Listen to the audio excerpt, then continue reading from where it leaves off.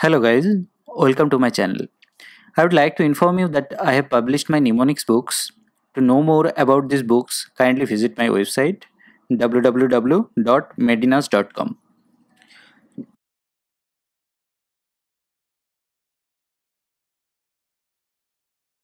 Today I have a mnemonic for X-linked recessive disorders. And the mnemonic is oblivious female will give her boys her X-linked disorders. Now follow the red letters.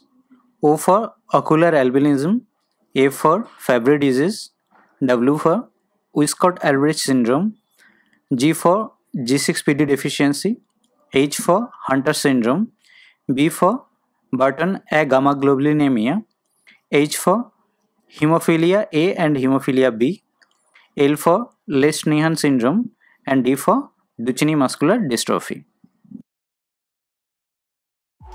That's all guys. If you have enjoyed this video, please like, comment and share and don't forget to subscribe. Thank you.